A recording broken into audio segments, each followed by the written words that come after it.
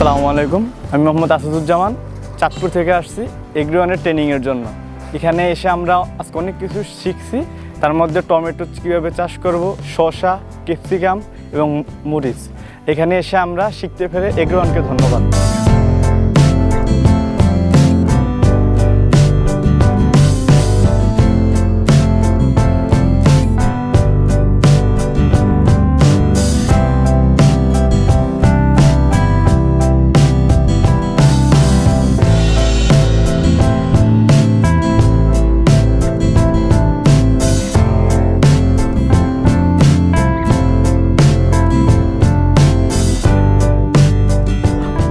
তখন ও ভাঁজ হয়ে ওঠার সময় প্রেশার পড়তেছে না, তাতে দেখা যায় যে একটু মোটা হয়। এটা এক ধরনের, এটা সাইন্টিফিক কী ব্যাখ্যা আছে আমি জানি না, তবে এটা ট্রু এটা এটা একটা টেকনিক পেঁপের জমিতে আগাছা হবে আর আপনি ভিডিও দিবেন আর ছবি দিয়ে বলবেন যে, ভাই, এই সমস্যা, ওই সমস্যা। একটা সমস্যার সমাধান হবে না। এই সমস্যা, সেই সমস্যা, গাছে ফল ধরে না, কি দিচ্ছেন সব মদ্দা হয়ে যায়। কোনো সমস্যাই সমাধান হবে না। যদি আগাছা থাকে মানে ঘাস, যদি ড্রেনের ব্যবস্থা ঠিক না থাকে, যদি সার ঠিকমতো না দেন যদি স্প্রে সপ্তাহে একটা না পড়ে, তাহলে বাকিটা আপনারা মানে আপনার মতো।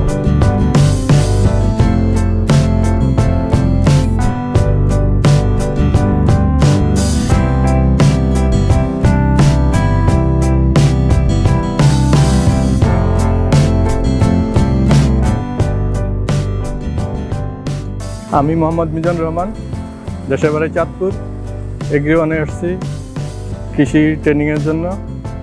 ইনশাল্লাহ ভালো অনেক কিছু শিখলাম যা প্রয়োগ করব। আশা করি সাকসেস হব। আসসালামু আলাইকুম আমি তৌফিক। আমি চট্টগ্রাম থেকে এসেছি চট্টগ্রাম হালিশহর থেকে। আজকে আমি আগ্রমানের যে কোর্স করলাম সেটা করে আমার খুবই ভালো লাগল। এখানে আমি আজকে শিখতে পারলাম যে কীভাবে চারা করতে হবে এই সম্পর্কে আমি কিছু আইডিয়া পেলাম। তারপর এখানে যে শিডিউল স্প্রে সম্পর্কে একটু জানলাম যেটা আমার আগে জানা ছিল না। এই ড্রেনটা আমার এক ফুট তাহলে কত হলো? সাড়ে তিন ফুট?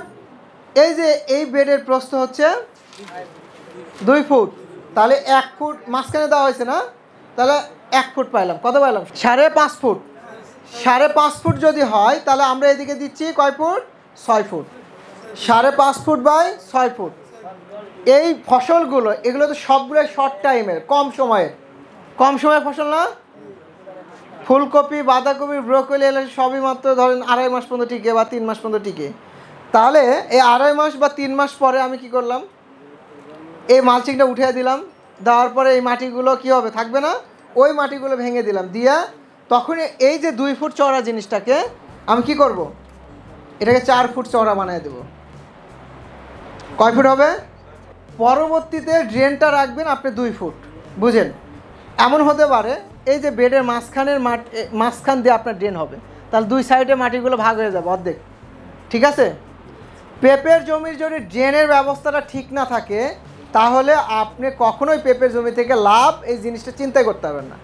দেখবেন, যারা গতানুগতিক পেঁপে চাষ করে, পেঁপের জমিতে গেলে দেখবেন যে একদম সবসময় চকচকে থাকে এবং ভাত ছিটা দিলে কাকে এসে ভাত খাইতে পারবে। এটা পেঁপে চাষি কিন্তু মেন সূত্র।